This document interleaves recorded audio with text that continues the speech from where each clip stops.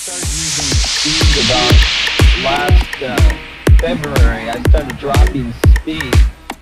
And I started meeting these new friends and I started getting this speed.